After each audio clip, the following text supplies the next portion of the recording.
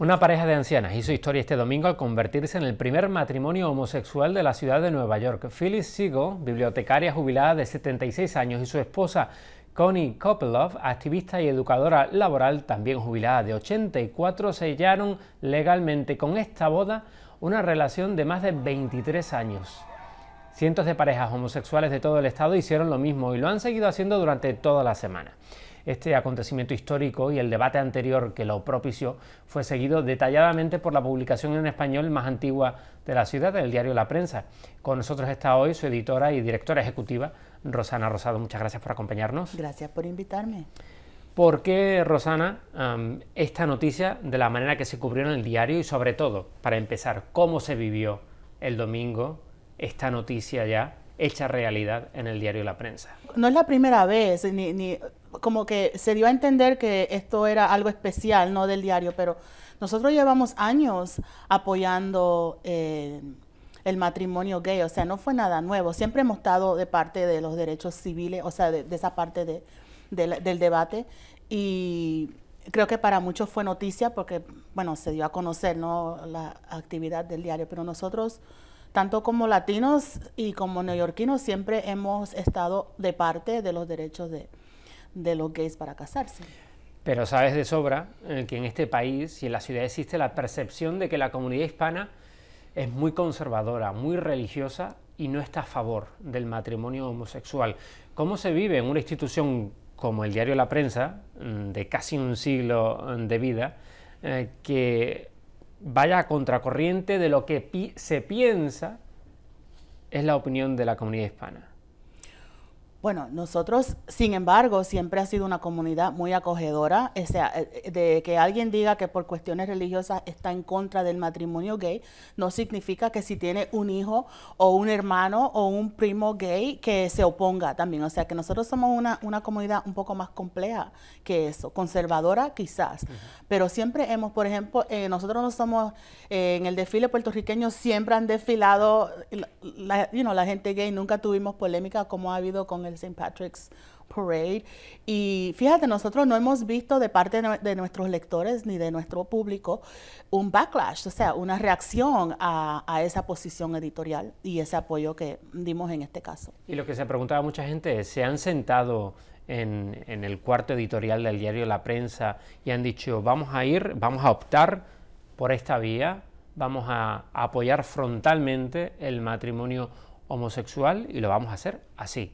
¿Hubo una reunión de ese tipo? ¿Se decidió que se iba a hacer la línea editorial? Bueno, como dije, esa línea editorial no es nueva, siempre hemos mantenido. Yo creo que esa línea editorial es eh, consistente con nuestro apoyo a los derechos civiles, a los derechos del inmigrante, a los derechos sociales, o sea que es parte de una trayectoria de luchar por unos derechos que creemos que son derechos civiles. O sea, que no es una discusión eh, solamente religiosa, que es una, una, una como si, si, uno va a decir que se deben dar ciertos derechos son civiles, eh, ¿cómo se va a oponer al matrimonio? O sea, eh, que no tiene sentido. Para mí que es consistente con todo, o sea, con esa trayectoria que nosotros tenemos de lo que es una política progresista, ¿no?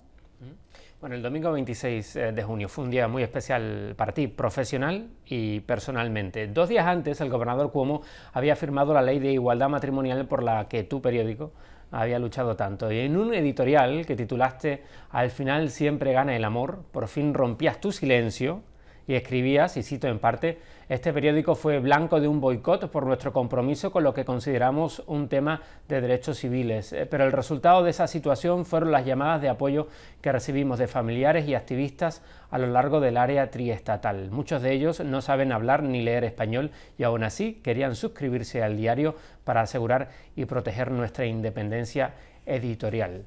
Como mujer de negocios, aparte de, de que seas periodista, ¿Cómo viviste este boicot organizado en contra del diario por la postura editorial a favor del matrimonio homosexual? El diario es un periódico que le, decimos en inglés single copy. Ese periódico se vende todos los días, por 98 años, todos los días se vende en el estanquillo, o sea que no hay una suscripción que la gente paga de antemano.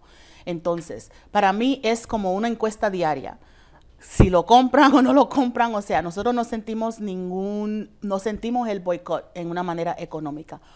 Ah, pero sin embargo, al, la gente que llamó el boicot, pues le trajo mucha atención al diario y por, y por ende, eh, como que tenemos nuevos como fanáticos que no nos conocían o que tampoco también creían que era algo nuevo, que, o sea, que, era una, novedad nuestro apoyo al matrimonio gay, lo cual no lo era.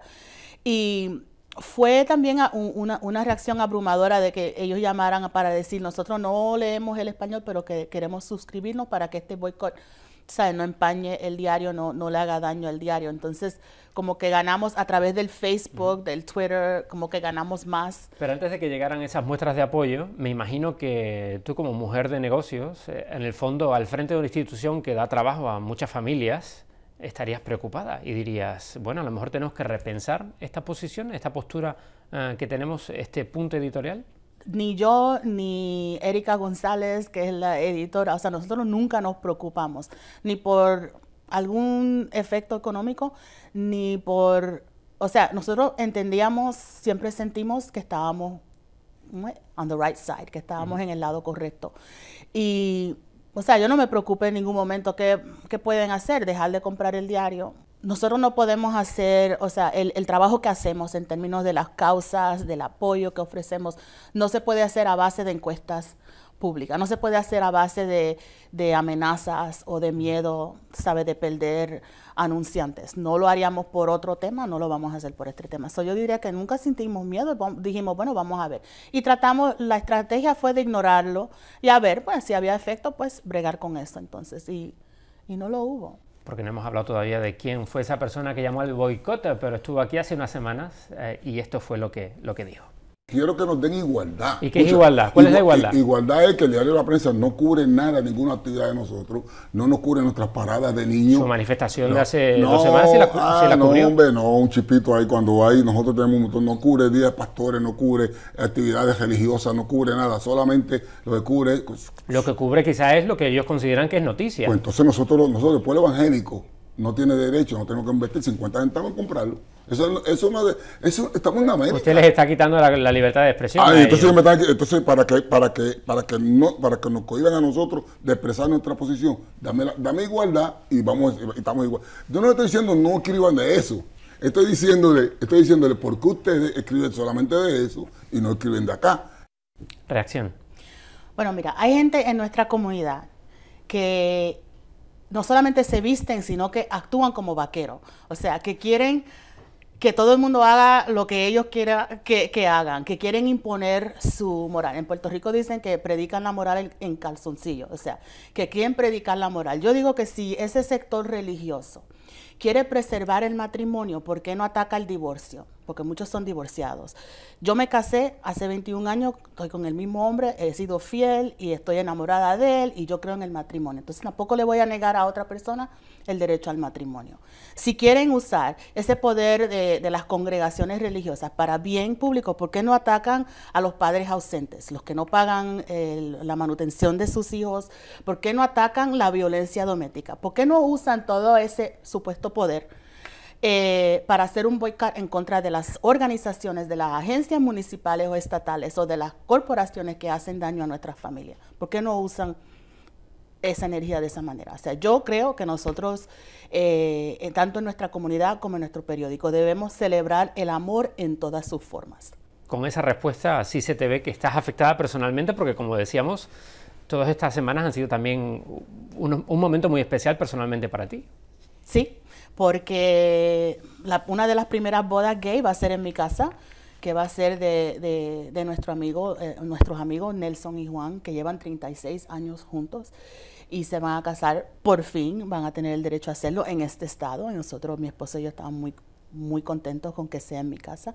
Y también porque este año ha sido el año en que mi hija eh, nos ha revelado que ella es gay y ella tiene 17 años. Y para ella y su generación, sus amistades, sus primos, mi familia, todo el mundo ha sido o sea, la ha apoyado en todo, no ha habido una reacción negativa. Yo creo que eso es, o sea, que, que, le entregamos ese mundo a nuestros hijos, que ellos no, no tengan que sufrir por las cosas por las cuales sufrieron, por ejemplo, un Nelson y Juan o mis tíos, o, o sea, nuestros parientes. Nueva York se convirtió en el sexto estado del país en permitir estas uniones. Eso sí, estos matrimonios no disfrutan de beneficios a nivel nacional, ya que son reconocidos por el gobierno, no son reconocidos por el gobierno federal. ¿Por qué? Por una ley firmada por el presidente Bill Clinton en el año 96, llamada de defensa del matrimonio, que define el matrimonio como la unión exclusiva entre un hombre y una mujer y que exime a los estados en reconocer las uniones homosexuales si no quieren hacerlo. Debido a esta ley, muchos matrimonios binacionales corren peligro ya que los extranjeros casados con estadounidenses no gozan de beneficios migratorios. El presidente Barack Obama piensa que esta ley es anticonstitucional y le ha pedido a su equipo que deje de defenderla en tribunales.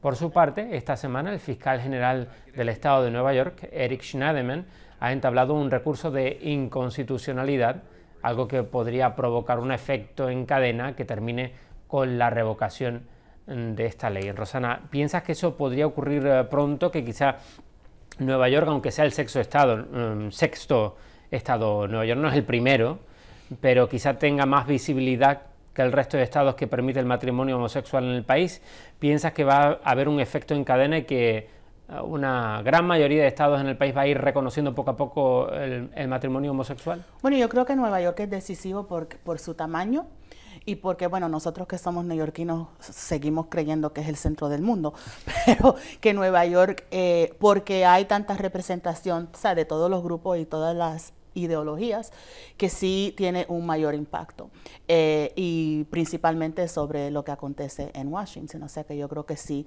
el hecho de que hemos pasado esto en Nueva York, el hecho de que tengamos personas como Schneiderman y Cuomo que tienen aspiraciones eh, más allá de Nueva York es importante también y yo creo que sí vamos a ver. Eh, y yo quisiera que sí, porque ya es tiempo de que terminemos con este tema y breguemos con otros que para mí son más mucho más importantes en términos de la, de la vida cotidiana de, la economía, de, job creation, crear trabajos para la gente y, otras cosas que hay que resolver. Porque en el fondo, eh, ¿piensas que va a llevar mucho tiempo el que la población en general se acostumbre a otros modelos de familia?